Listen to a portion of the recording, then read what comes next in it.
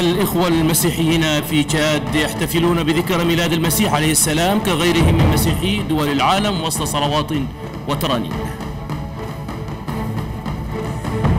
تحالف الأصالة المنظمات الشبابية يطلق أعمال الملتقى التفاكري للأصالة تحت شعار الأصالة فكر متجدد وعطاء مستمر. وزيرة الشباب والرياضة تطلق رسميا الدورة الثانية لكرة القدم تحت سن السابع عشر. السيدات والسادة طبتم وطاب الله أوقاتكم بكل خير. في مستهل هذه النشرة الإخبارية العربية نقدم تهنئة بمناسبة ذكرى ميلاد المسيح عليه السلام لجميع الإخوة المسيحيين وعيدا مجيدا للجميع. احتفل صباح اليوم أتباع الديانة المسيحية بذكرى ميلاد عيسى المسيح عليه السلام بمقر التحالف الكنيسة الإنجيلية بالدائرة الثالثة بحضور حشد كبير من أتباع الكنيسة والأساقفة سعيد أحمد حسن ومزيد من التفاصيل. Jésus est né, l'amour de Dieu pour l'humanité. Amen.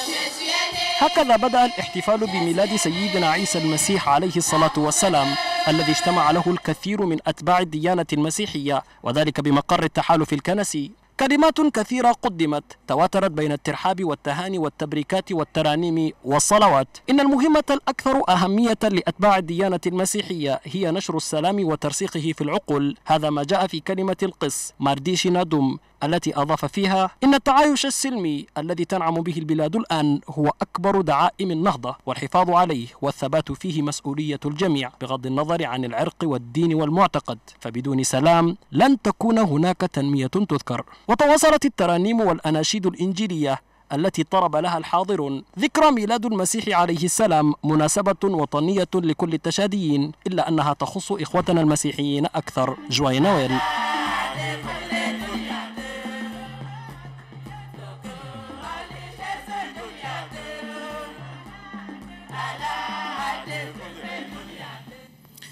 نعتذر لبعض الأخطاء التي وردت في هذا التقرير. كما احتفل صباح اليوم المجمع الدولي المسيحي بعيد ميلاد المسيح عليه السلام الذي يصادف الخامس والعشرين من ديسمبر من كل عام بحضور العديد من المدعوين. تقرير آدم حسن المكاوي.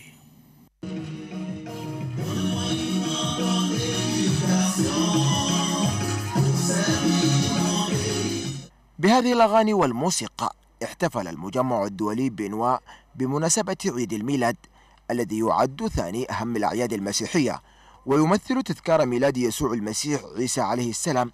احتفال مجمع بنوا بهذه المناسبة تخللته العديد من النشاطات الثقافية لطلاب المجمع. مدير المجمع الدولي بنوا لوبي أسينغار في حديثه أعرب عن سروره وفرحته بمناسبة عيد الميلاد مشيرا إلى أن المجمع نظم هذا الحفل المتواضع من أجل مشاركة الأطفال الفرحة والسرور أما ممثل مؤسسة المجمع الدولي بنوا محمد جمادينجار هنأ الحضور بمناسبة عيد الميلاد متمنيا المزيد من التقدم والنجاح ومستقبل أفضل لجميع الأطفال مؤكدا بأن المجمع يهدف إلى بناء الأطفال من أجل غد واعد هذا وقد انتهز المجمع فرصة هذا الاحتفال ليقدم شهادة الفصل الدراسي الأول للطلاب المتفوقين الأوائل في الصرح التعليمي.